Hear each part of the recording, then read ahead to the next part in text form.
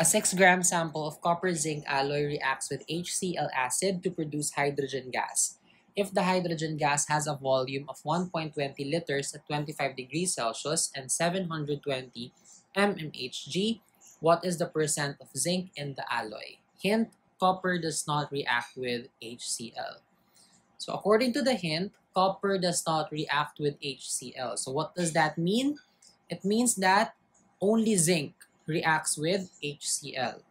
So first things first, you need to write the reaction between zinc and HCl. So that's zinc plus HCl. The products are zinc chloride and hydrogen gas. You need to put the coefficient 2 in front of HCl to balance the reaction. So this is the balance reaction between zinc and HCl.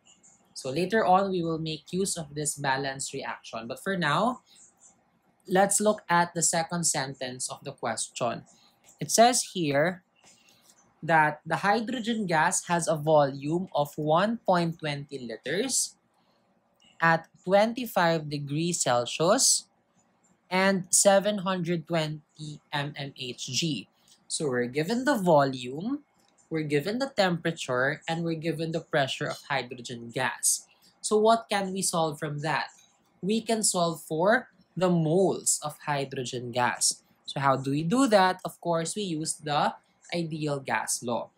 So if you can remember the formula for ideal gas law, that's PV equals nRT. So if you want to solve for the moles or N, you can divide both sides of the equation by RT. So RT cancels on the right side. So our equation would be N moles is equal to pressure times volume divided by the gas constant times T. And according to the problem, the pressure is 720 mmHg. But before we plug that into our equation, we need to convert that first to ATM or atmosphere. So we are given 720 mmHg. So if you can recall, for every 1 ATM, that's equivalent to 760 mmHg. So the mmHg would cancel out. And if you solve this in your calculator, that's 720 divided by 760. That's approximately equal to 0 0.947 ATM. So that is your pressure. You plug that into the equation. 0 0.947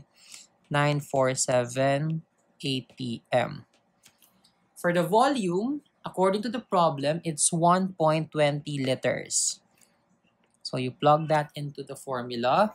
Divided by, remember, the value of R is constant.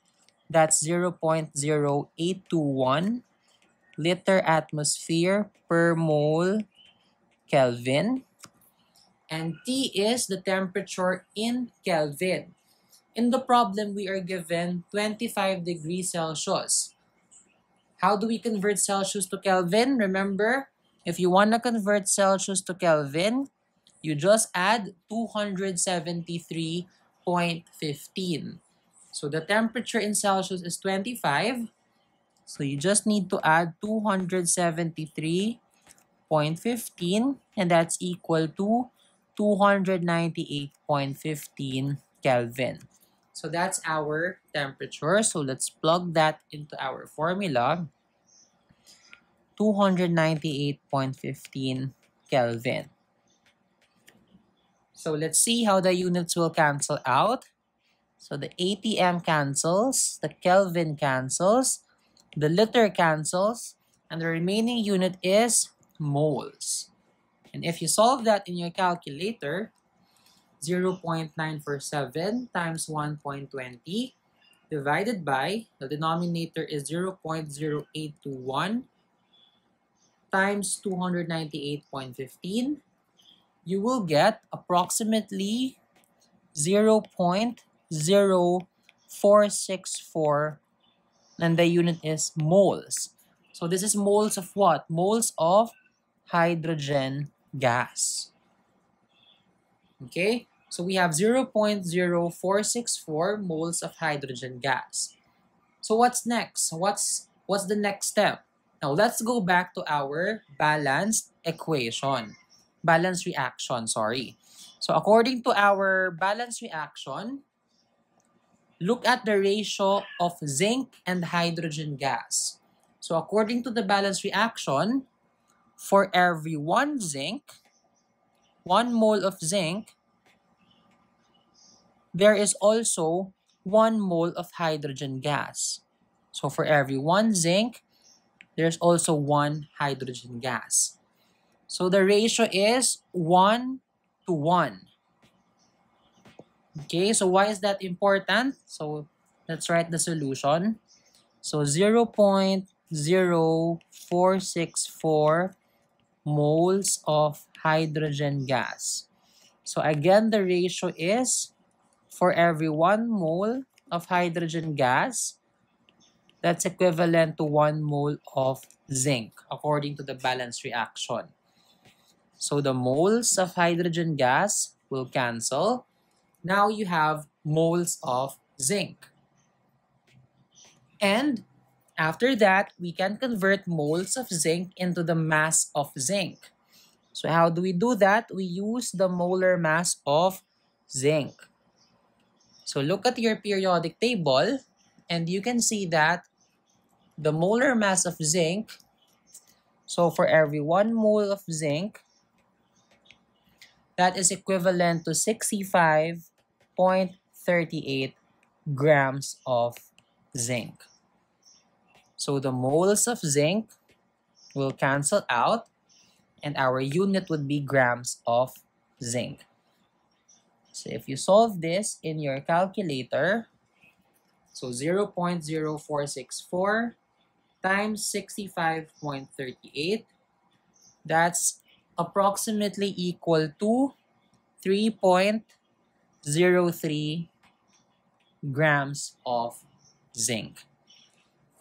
And finally, now that you have the grams of zinc, you can now solve for the percent zinc in the alloy. So how do you solve percent zinc in the alloy? That is just mass of zinc divided by mass of the alloy times 100. So substituting the numbers, the mass of zinc we got was 3.03 grams divided by, according to the problem, the mass of alloy is 6 grams. So divided by 6 grams times 100. And if you solve that in your calculator, 3.03 divided by 6 times 100, that's equal to 50.5% zinc. So the answer to this question is 50.5% zinc.